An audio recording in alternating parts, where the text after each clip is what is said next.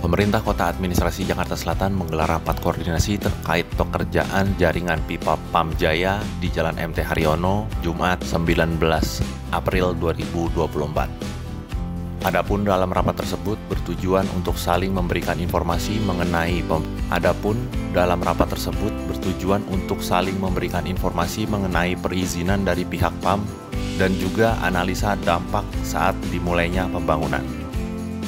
Kepala Suku Dinas Perhubungan Jakarta Selatan Bernard Octavianus Pasaribu mengatakan, nantinya akan ada rapat lanjutan untuk membahas waktu dimulainya pembangunan jaringan pipa PAM.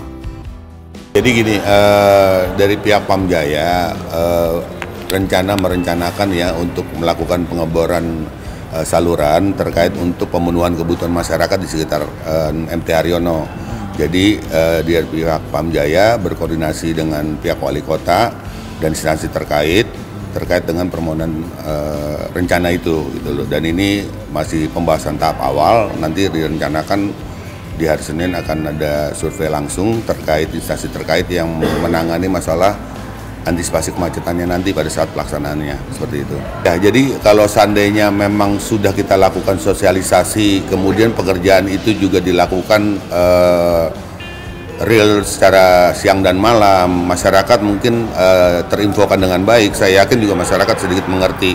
Cuman yang perlu kita antisipasi kan apa namanya lonjakan kendaraan ya yang cukup tinggi apalagi kita tahu di lokasi itu pagi sore juga sedikit terjadi kemacetan karena ada penyampitan jalan di lokasi tersebut.